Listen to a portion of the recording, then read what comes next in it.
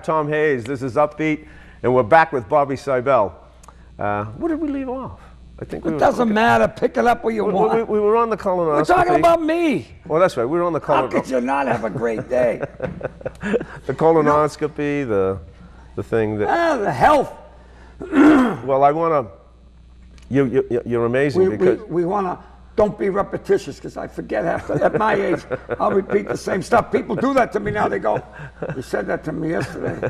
You told it to me two days ago. And I'm start repeating. I really, did I ever tell you? And I go, oh my God. Sometimes I make phone calls. You ever do that? You forget who you're calling? And the person answers. You go, who's this? You go, no, no. I, it's coming close. Coming close We're going to need Well, let's talk about. You brought. We'll get back to the Yeah. cancer, but the phone. Now you you have a thing with your phone. Everybody knows you, and your phone. You know, Okay. Okay. I was the last, I don't know if you're going there. because you're cheap. I'm the cheap. I hate, I, let me just say something about texting and cell phones. How much of that going on while you're driving is critical information that has to be done at that second? I would advise, since I ride a motorcycle, it's a public service announcement. Don't text and BS on cell phones while I'm on two wheels. People are not looking. Years ago, when a person would be, you know, swerving down the road, it was a drunk driver. Now it's a text, right? Now it's either, right? But now it's combination, a drunk texter going down the road. I'm like, God, oh man. No, I'm not a fan of the cell phone thing. I was the last comic in Boston to get a cell phone. Yes. I fought it, I fought it, and then finally some folks uh, in, man, in, the man, in the comedy manager said, you lose a lot of work. And that was it. I got a cell phone. It took me like about a year and a half to figure out how to push buttons on it. I am not technologically. I went to a Catholic school. I can speak Latin, but uh, I don't know how to run machinery. I mean, I'm not a machine person. You know, I mean. I can change the oil on my motorcycle, but when it comes to like running computer, I don't have one. People say, "Well, you have email?" I said, "No, I got a female. She's in Beverly, but I got no email." And people say, "How can you stay uh, like uh, on top of everything?" I really don't care. I read a book in the subway. I look around and everybody's wired in, and I'm reading a book. It's got paper. It was made from a tree. It's not that whatever that me- mechanical book. And I'm like, my God. I'm so glad I grew up in the 40s. I mean it. I, you know, I just, I can't get used to this fanaticism about technology. You know, you get out, you really, I was on the subway yesterday and I'm looking around. I was the only one reading the book. Everybody's Earth calling robots, Earth calling robots. We become robots, man. Nobody communicates. I'm rather going, hey, I'm here, I'd like to talk to you. And, and I said to a kid once with the text thing, what are you doing? They're playing games. okay, why don't you try Sudoku? I don't know. You know, you get older, you look back, you know, I wish it was, I wish it were. I don't know, I wish there were party lines. Because we had party lines. You had four people, you hear the Greeks say, yeah, because I mean, you, you, really, then you'd hear some little weird stuff too. I love you. It's like porno in the 50s. we never had porno in the 50s. You know what porno was in the 50s? Playboy. And the girls were dressed. And porno, for us, other than the, uh, the, the, the Playboy, was National Geographic. The natives of New Nigeria, that was the bare boobs in those days. And now it's like a medical journal. Hey, there it is. There's nothing, no imagination. It's like a medical journal. My God, there's nothing left to think about. It's just. Well, you did that so well. When you did this, I could I could see it.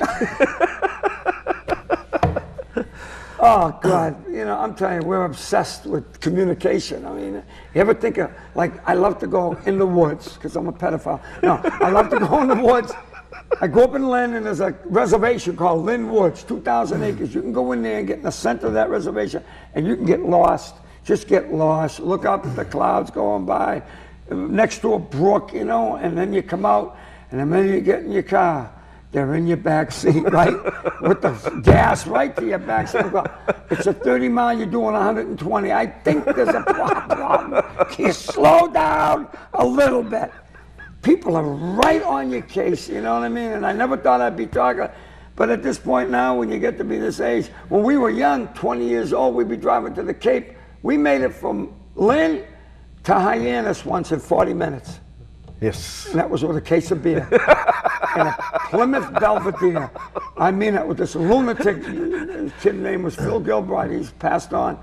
He was we'd made it in 40 minutes from Lynn out of it, and we didn't care. And you know, I had a you ever hear of a Karmann Ghia? Yes. The old Karmann Ghia convertible. For anybody, it's a Volkswagen that was like a poor man's Porsche. And and and we would drive to the Cape every weekend. I worked at the GE and we drive to the Cape and the top down, case of beer in the back. And I'll never forget this. You know those orange cones on the highway? The nut that I was with was Jimmy Monroe. We stopped at a site and we put the two orange cones on our head. and we're driving to the Sagamore Bridge or whatever, and we're driving and people are screaming, laughing, and all of a sudden, it's the state police. I swear to God, this state police officer, get out of the car. He was holding himself laughing. He come up to the car. He goes, just put the damn cones on the highway. Get that. Never said a thing about the band. You know, we were empties rolling back and forth. Really, Tommy, that was in the '60s, folks. You can't do that anymore. You know, it's a whole different world. And like I say, I'm very glad that um, you know I never inflicted damage on a human being. I mean, uh, in a vehicle. You know what I'm saying? But um, no, like I say, back to the gratitude thing. I hate to say I'm grateful, but I'm grateful to be here with you. And I mean it. It's fun to let me talk for three hours. you sit there like a mute. Oh, God. Oh, have you heard the latest of health? I got an eye problem. Did I tell you this? I got sideswiped by a truck. December 7th of 010. December 7th, Pearl Harbor Day. Only I got bombed. I'm in Salem, Mass. Did I tell you this? I got sideswiped by a truck. Went down. True story, folks. I'm not lying, and this is all true. Went down, and um, the man who sideswiped me came running back. He says, "Are you okay? Is, did I tell you the whole thing?" I says, "Yeah, I'm fine." Yesterday, you told He me. says, "No, an hour ago." He says, "He says, uh, he said, well, there's a hundred bucks and my business card. I'm late for a meeting," and he took off. And the Salem police, Salem, Massachusetts police, come up to the site. Where's the guy who hit you? I says, well, I told him he could leave. And the cop went, you nuts, it's an accident, you jerk. You should be in the hospital checking. And there was a nurse off duty from the hospital. She said, you got to go to the emergency. I'm okay. True story. And the police are trying to debate with me, going, Bob, you got to go and get this checked out. We got the business card, we'll check on the guy who sideswiped you. I convinced the police I was all right, but now I'm in adrenaline shock. You know, you're banging on a friggin' highway there. So I convinced the police to lift the bike. We three of us get the Suzuki 1000. Talk about poor, cheap land. Suzuki 1000, 1981, with 113,000 miles. A mechanic will not fix it. He says, "You're bringing it in. I'll put gas on. I'm gonna blow it up. It's making my business look bad. Nobody wants to bring their bikes." I go, "He fixes that." So. When I ride with my friend as a he goes way in the back, a mile away. Don't come near me. So now I convince the police. The bike goes up vertical. The bars are bent. Mirrors are shattered. I get on the bike, kick it, start riding down the street. Uh, a mile or less, I have a seizure. I go off the bike in Peabody. I'm rolling down the street with the bike, hit a curb, bounce off. I'm swearing to God, ladies and gentlemen. I jump off the off the, the green, right? I get up again, and I'm walking around again, still in the now I'm in dual adrenaline shock. And there's a young police kid officer at a at a gas company work site. And he comes running up. He goes, "Send an ambulance to such and such a street." True story. And I'm standing there like this, doing Rocky. The bike's laying there. The gas is coming out of the tank. And the police kid says to me, "Are you okay?" I said, "Yeah, I'm okay. Just help me lift the bike. I got to get it back to my garage." So he goes like this, "Cancel the ambulance. He doesn't want it." And then he goes, "What? What?" He goes. You're not the same guy on Highland Avenue. I goes, yeah. He goes, pal, but you gotta slow down. I had my comedy DVD in my jacket. And I says, I was gonna deliver this DVD to somebody. I had the comedy DVD. I says, listen, I said, I'm a comedian. I work around uh, New England. Here's my DVD. When I drove away, this cop was like this. what the hell was that? So what happened was that I won't get into the thing, but I feel strong. But we won't get into that. But I got a little damage to the eyes, and so a little concussion, and hemorrhages in the eyes. So I said, pretty soon I'll be in front of Walmart with a white cane and a cup and a monkey with a red hat. You know, how about a few pennies to stand up isn't working. All the, you know, the funniest stuff is the true stuff. You can sit there and write scripts all day, and then you go like, "That's funnier than the script," right? You know what I mean? Because we've been laughing since we met each other. From the day I met this crazy man and his. If you ever want to see a funny guy on stage, go see Tommy Hayes, and I mean it sincerely. I'm just doing this because I'm mentally ill. Tommy does it because he's a professional comedian. they, they haven't got a net big enough to catch me. I'm just on, I'm on work release right now, right? Oh my God. But They won't let me in Brooksby. They said, no, no, no, we got a waiting list, you're not on it. Oh. Oh my God. If these poor people have no idea how much material I still have left. we haven't even got there. All you folks ought to be glad I'm not your neighbor. How'd you like to see this in the morning? Hey, how you doing? I'm your new neighbor. You know this is. Oh, yeah, go, go ahead, ahead. Go ahead. No, go ahead. No, you know, people prejudge. You know what I mean? When people see me uh, facially, I got the face of a mass murderer and, and the heart of Mother Teresa because I'm, I'm a wuss. But when people, you know, the other day there were, I was at the train station in Beverly. True story, and all these kids were uh, giving out like uh, Nutrigrain candy bars to the people getting on the train. They went right behind me. Yeah, really, here's a Nutribullet, and they saw me and they went, don't give him a Nutribullet, he'll attack. You know, because I got that face of a potential mugger, you know. I, uh, you know, really, it's tough to go through life looking like you're like on the, on the edge. I used to hitchhike, nobody picked me up, look. People go, nah, that's okay. That was the blizzard of 78. I was... I gotta come out of my shell. Yeah, you're 70. It's about time to come out of 70. your shell. Oh, you know what it is? 70 from the neck down, from the neck up. 15. I get zits here and varicose veins here. I don't, I don't know what to do. Help me, please. Clearasil here and Ben Gay here. Oh. Help me, folks. And I actually go out with this woman who thinks I'm cool. This girl, Diana. She's been, like I said, she's been going out with me for uh, a lot. Well, tell the, the- you didn't tell the story how that all evolved. Okay, we did it, but I'll do it here. Yeah. We were dating when we were teenagers, and uh, she went to a, an academy up in Salem there, Cridians, and uh, I was at St. Mary's, and I don't know how we met drinking, you know, you meet girls, and, and we went out for a year or so, back and forth, you know, and uh, then uh, the girls, 1960, had had a parrot, had a, you know, the rings, and I said, oh, no, I got a career in alcohol and drug abuse and, uh, as, a, as a client, not as a counselor. And so I went on and pursued my career, and she got married, had three beautiful kids, and uh, 04, 44 years after we split, the phone rang in my condo, and I picked it up. I said, hello. And she goes, hi, Bobby, it's Diana. And I said, I knew you'd come crawling back. You give them enough time to think it through. And I found out why she goes out because she saw the way I dress, and she Show knew. them. Show them. Sit up. Hey, Show them. I cannot look at these. These have been stitched by a guy named Zeke. Look at these things. I will not let go of clothes. You go up poor. I ride a motorcycle with 30-year-old pants. and I drive a Hyundai Accent. All the women are going, what's his number? Eight track. Eight track, girls, eight track. Forget that. I'm almost into cassettes. We're doing eight track right now. Oh. I you know, with the technology, DVD, I thought that was a venereal thing. What do you got, DVD? Penicillin, I'm okay. HBO, get a deodorant. I don't know. What Android. I mean, that was in a sci-fi movie. What is all this stuff going on? You lose track. You go to, I go to, a, you know, the communications store. Go, what is all this stuff that that BlackBerry? Eat them. people, you never see people now when they walk by you. Years ago, when they walk by you talking, they were nuts. Now they're hooked into like, hello, how you doing? They got these things hanging out of their ears.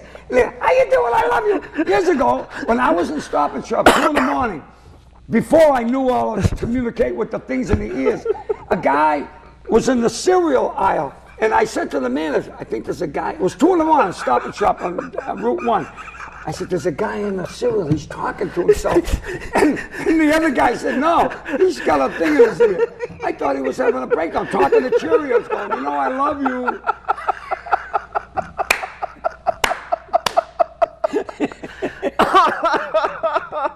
oh.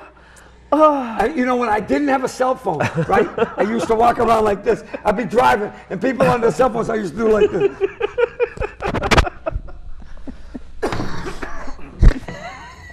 oh. So how long you been doing comedy? yeah. Uh, you know, Thank God we don't have to go to commercials. you know, the producer. Oh, I, oh, I go, ahead, go ahead, go ahead, go ahead. I have I, I've been sober for a long time, and, and, and I can't mention the group I belong to because they want to be anonymous. But I'll give you a clue: it's not AAA, but they have the same slogan as AAA. Sooner or later, you'll break down and join us. So I'm at one of my meetings, and these two young kids are sitting there, and they're whispering at the coffee break, "Mr. Seibel, Mr. Seibel," and I never heard that since I taught I taught history at Lynn Classical. I did. I actually taught U.S. history. And these two kids are going, Mr. Seibel. And I went over at the coffee break at the meeting. I goes, how do you guys know me? True story. They said, you were our history teacher at Classical High School. I goes, what are you doing at this meeting? They go, you drove us here.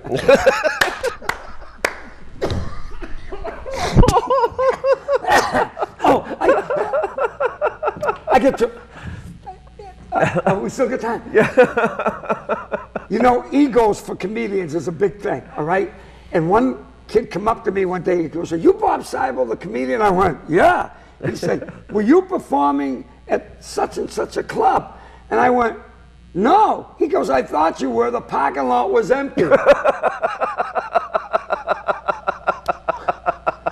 And I get this, and I love to be dumped on. I said to this old man, I says, You're the father I never had. He pushed me. He says, You're the son I never wanted. and I thrive on abuse.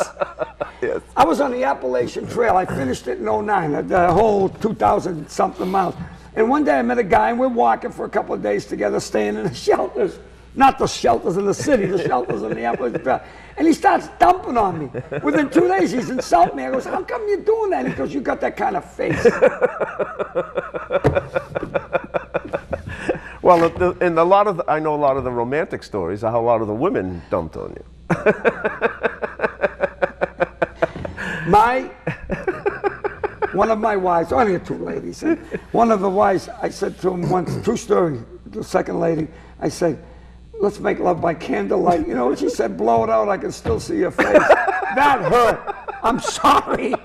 That hurt. And that's a true story. I brought it up in divorce court. The judge said, no, we can't use it against that. Let's do this every day. The, the producer, my cousin, had said, Yeah. he says to me, Does he know what you're going to talk? Are you prepared? Yeah, we got notes. He's reading off of notes. I said, I said, Ed, don't worry about it. Uh, tell him the story how cheap I am in the Prague at the airport when we're leaving. This is, I, this is, he, he, he tells me all the time he doesn't care about money. And I, when you see him operate, he watches every penny, every dime. And I said, You care more about money. I says, I think about making it. You think about every dime you spent, and it pains you. Every dime you spent. It's true. You don't care so much about making it, right? now go ahead. But it's, it's the, the, the we'd be in, we're in Prague, and he wants to eat. Was, Tommy, let's grab a couple of pieces, a piece of pizza and, and a Coke, buck and a half. Bobby, we're in Prague. I mean, how often do you get to Prague, Bobby? I mean, we can eat pizza and Cokes anywhere. Yeah, but it's a buck and a half. You know. We stayed in Prague. He tells, calls me up and tells me, Tommy, I got a deal. We can stay and go to Prague, 550 bucks. It includes round trip airfare, a week in a hotel, breakfast, half day tour of the city, and transfers. but we gotta act fast because if we don't get it right away, we'll have to go single occupancy, which is 50 bucks more. and oh. like an idiot, oh. I buy into the. I'm going, yeah, he's right. That was, we're going to get screwed out of 50 bucks. I got to jump on the double occupancy. 50 bucks more for the week. We could have stayed. But I got to stay with him and, he, and tell him how you dress at night. You tell All right. He's got on a Patriots jersey. That's it. I said, Bobby, Jesus, you know, I'm going to be here with, for a week with you. What are you doing? What? I said, you don't have any pants on. I like it. It's natural. I like to be natural.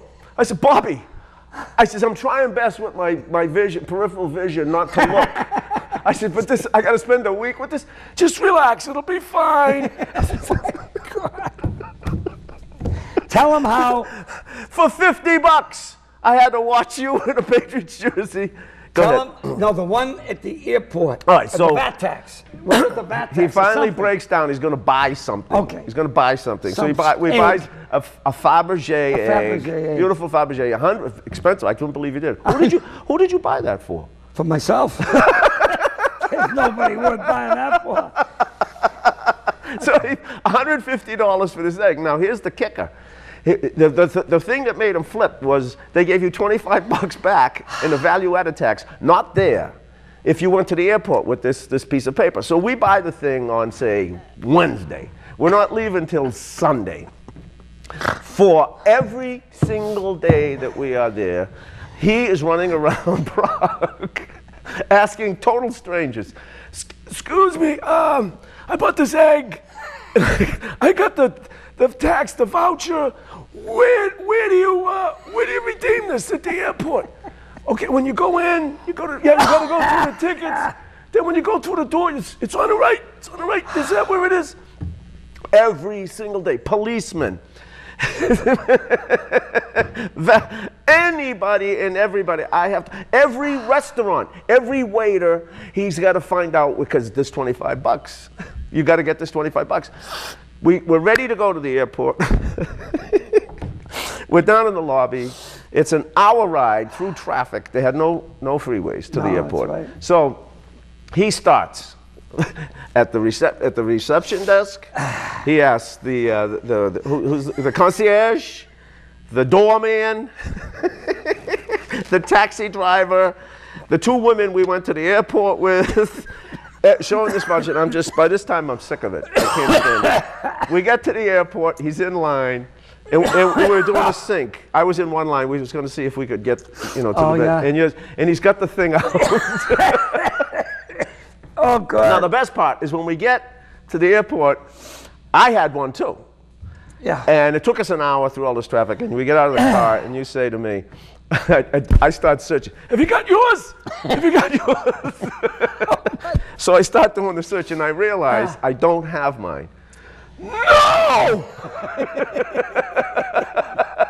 what are you gonna do? I said, We got an hour and a half. I'm going back.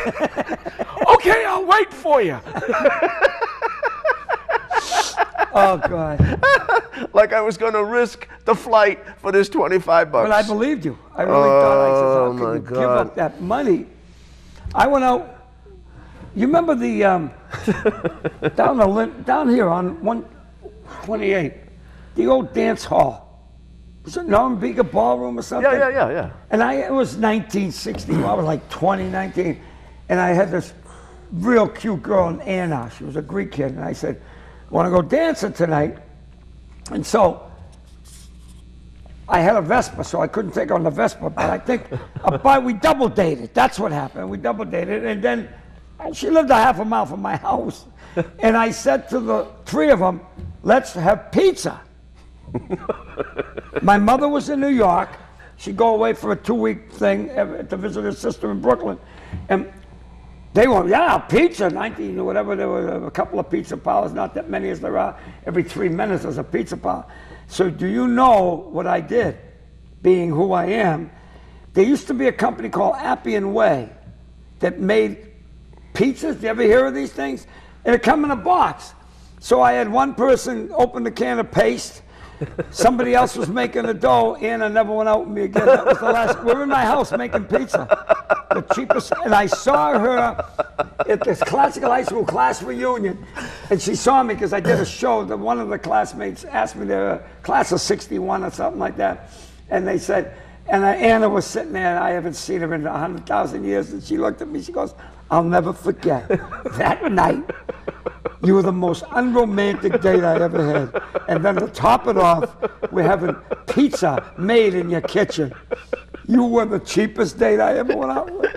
Oh yeah, and it just goes on through history. You know, I mean, just Oh, it's not going to change. I won't change. For God's sake, I just it's the, you know what? But I mean, I used to watch my mom after my dad was gone, and she'd be very frugal, for the lack of a better word, for the public, cheap as hell. And I picked that vibe up. I mean, everything. I'd watch her all the time. How she up it. When I scrape a pan of soup, there's not one noodle that stays in that pan. I mean it. I'm in there scraping it out with a, you know what I mean? Because I have been brought up like that. You waste.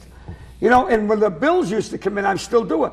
A gas bill, electric bill, I'd be at the at the the building paying it within half an hour. When the mail came, I'd be running. Got to pay the bill because I got to shut it off.